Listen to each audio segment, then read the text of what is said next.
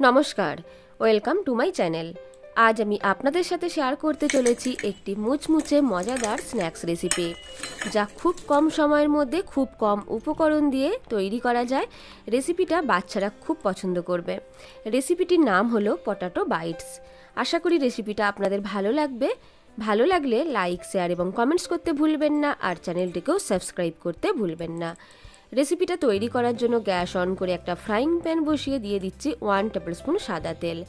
এতে দিয়ে দিলাম ওয়ান টিস্পুন রসুন কুচি। রসুন তেলে নাড়াচাড়া করে হালকা ভেজে নিলাম।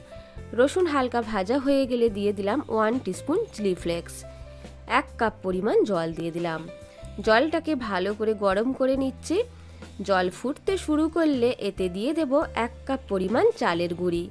যেই কাপে মেপে জল নিয়েছি, সেই কাপে মেপে নিয়ে নিলাম এক কাপ পরিমাণ চালের গুঁড়ি।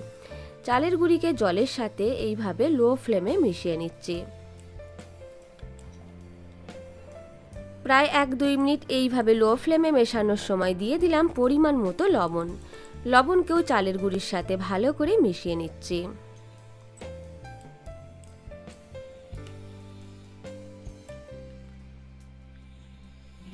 যখন এরা টাইট হয়ে যাবে, তখন আমি গ্যাস অফ করে দেব, অন্য একটি পাত্রে নিয়ে নেব।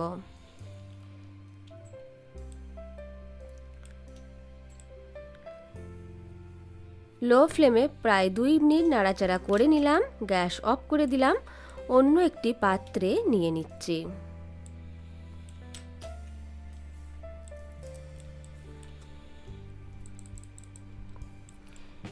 কিছুক্ষণ ঠান্ডা করে নেব, কিছুক্ষণ রেখে দিলাম ঠান্ডা হওয়ার জন্য।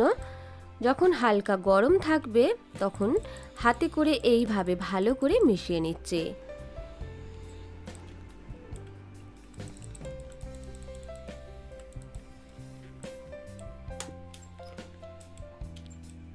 একেবারে সফট হয়ে যাবে, সেইভাবে হাতে করে এইভাবে মেখে নিচ্ছি। দেখুন, একেবারে সফট হয়ে গেছে। এতে দিয়ে দিচ্ছি একটা বড় সাইজের আলুকে সেদ্ধ করে নিয়েছি। সেদ্ধ আলুকেও ম্যাশ করে নিয়ে নিচ্ছি। এই রেসিপিটা তৈরি করতে খুব কম উপকরণ লাগে, বাট খেতে খুব টেস্টি হয়। আপনারা সন্ধ্যার স্ন্যাক্সে খুব সহজেই এই রেসিপিটা তৈরি করে দেখতে পারেন। আলুটাকেও ম্যাশ করে নিলাম। আলু আর চালের গুঁড়িকে ভালো করে মিশিয়ে নিচ্ছি। একটা সফট ডো তৈরি করে নেব। বিশেষ করে বাচ্চারা এই রেসিপিটা খুব পছন্দ করে। বাচ্চাদের জন্য আপনারা এই রেসিপিটা খুব সহজেই বাড়িতে তৈরি করে দেখতে পারেন।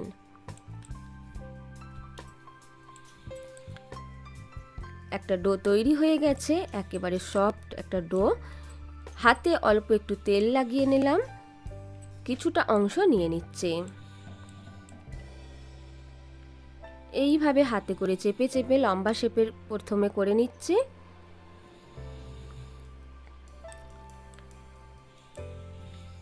তারপর একটা ছুরি দিয়ে দুই পাশটাকে অল্প একটু করে বাদ দিয়ে পছন্দ মতো সাইজের কেটে নিচ্ছে। আপনারাও আপনাদের পছন্দ মতো যে কোনো সাইজের কেটে নিতে পারেন।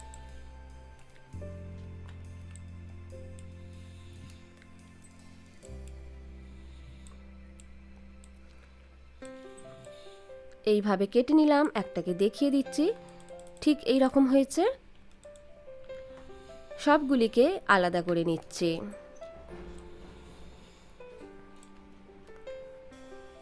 সবগুলিকে আলাদা করে নিলাম। এইভাবে প্রত্যেকটি বাইটসকে তৈরি করে নিয়েছি।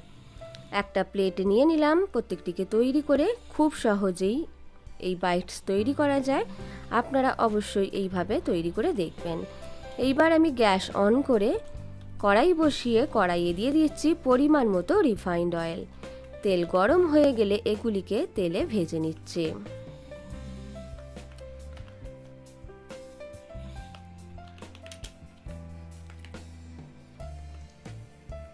তেলে দিয়ে দিলাম, নাড়াচাড়া করে নিচ্ছে, মিডিয়াম ফ্লেমে ভেজে নিচ্ছে। ভাজতেও খুব বেশি সময় লাগে না। ধীরে ধীরে কালারটা চেঞ্জ হয়ে যাবে। কালারটা যখন চেঞ্জ হয়ে যাবে, বুঝতে হবে ভালোভাবে ভাজা হয়ে গেছে। ভাজতে ভাজতে অনেকটা কালার চেঞ্জ হয়ে গেছে, এগুলি পুরোপুরি ভালোভাবে ভাজা হয়ে গেছে। তেল থেকে ছেঁকে তুলে নিচ্ছে।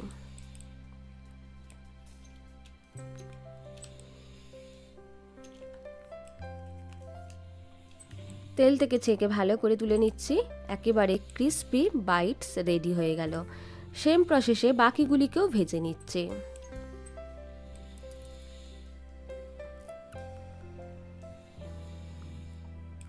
কালার ধীরে ধীরে চেঞ্জ হয়ে যাচ্ছে। মিডিয়াম ফ্লেমে ভেজে নিলাম। এগুলিও ভাজা হয়ে গেছে, তেল থেকে তুলে নিচ্ছে। একটা প্লেটে নেওয়ার সময় দেখিয়ে দিচ্ছি কতটা ক্রিস্পি হয়েছে। আওয়াজ শুনলেই বুঝতে পারবেন। টমাটো কেচাপের সাথে পরিবেশন করেছি। আপনারাও আপনাদের পছন্দ মতো যে কোনো সসের সাথে পরিবেশন করতে পারেন। খুব সহজেই মাত্র কয়েকটি উপকরণ দিয়ে একটি টেস্টি স্ন্যাক্স রেসিপি তৈরি হয়ে গেল। আপনারা এই রেসিপিটা বাড়িতে অবশ্যই তৈরি করে দেখবেন। রেসিপিটি ভালো লাগলে লাইক, শেয়ার এবং কমেন্টস করতে ভুলবেন না। আর আমার চ্যানেলটিকেও সাবস্ক্রাইব করতে ভুলবেন না।